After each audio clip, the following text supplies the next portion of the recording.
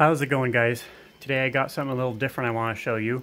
This is a reverse shell attack that I have uh, mostly developed myself with some help from several different repositories on GitHub and just some Googling stuff.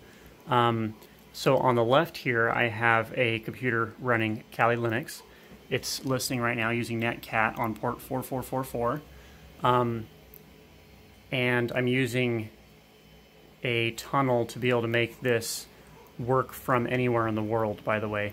Um, so it doesn't just have to be on the on my lo local network. Sorry, stumbling over my words. Um, right here, I've got a fresh Windows install, Windows 10, and it's got it's fully updated. It doesn't have anything disabled or anything.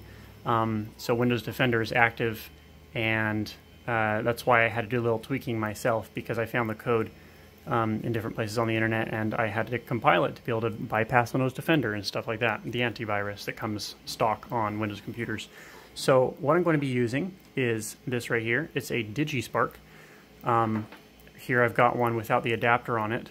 It's pretty small, um, real easy, pretty easy to use, and fun to play around with and code.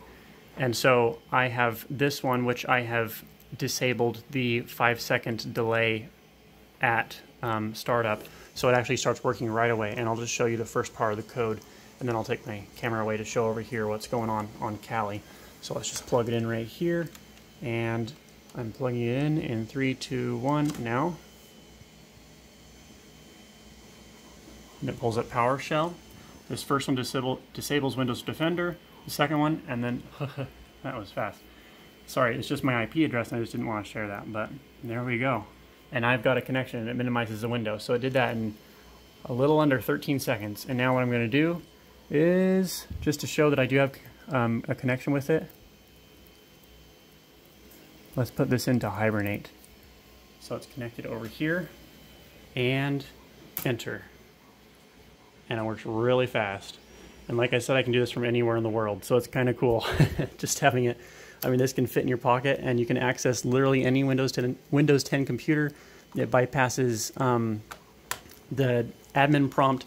I guess the only thing is that if you have um, obviously a password on your computer, then it won't work. But I have it set right now to work without a password on the computer, but still it disables Windows Defender. So that was it. Just wanted to show that off real quick. Um, I've just been playing with it a little bit and it's been a lot of fun. So thanks for watching, guys. I know it's totally not what I normally talk about, but um, I thought it was fun, so I thought some of you might be interested. Um, leave a thumbs up if you thought this video was interesting. And uh, thanks for watching once again. Make sure you hit that subscribe button, and we'll see you in the next one.